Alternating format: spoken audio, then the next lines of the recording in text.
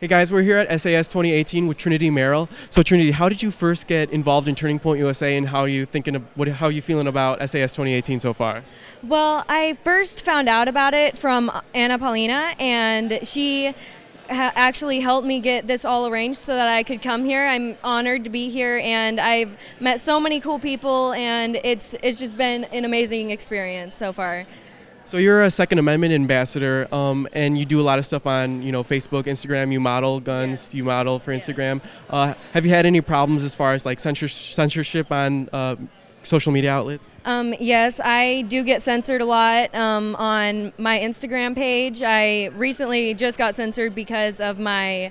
Um, because I had a gun in my post about my 150,000 follower finally, and um, it, it, I get censored a lot. Like um, whenever I got my deer this year, I that got censored. Whenever I posted it, a lot of my pictures get censored all the time, and I just, I just re, repost them. Really, just because I mean you can't get rid of it. Like it happens all the time. It it's a real problem, honestly. So, what would your advice be to kids who are trying to start a social media following uh, with conservative values being their main message and them getting shadow banned? What would you say to them I'd say just like keep going for it, definitely, because like you're you can't not get out. You can't.